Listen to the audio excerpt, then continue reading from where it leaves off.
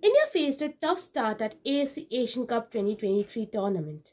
They lost their first match against Australia by 2-0 and next to Uzbekistan by 3-0. Up next, they have to face world number 91 Syria as the last group stage match. But here's the kicker. They still can make it to the knockout stages of AFC Asian Cup. How? They have to win the match against Syria and hope they make it to the top four best third place teams in the group.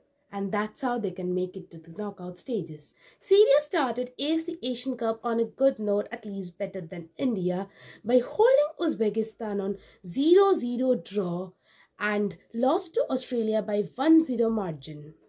They also hold Malaysia at draw 2-2 in a tournament and also lost to Japan 5-0. Whereas India lost their last match against Malaysia at the Merdeka Cup. This is going to be very interesting. India will have to play their best football in this match to stay in the contention because Syria is not going to be easy for us. They have just lost two matches and had drawn the last three matches in the last five matches they have played, whereas the results for India are not the same. We have to hope the Sunil Chhetri led team to be on their best toes to make it to the knockout stages of AFC Asian Cup. Things are going to be tough but that's what excites us in football.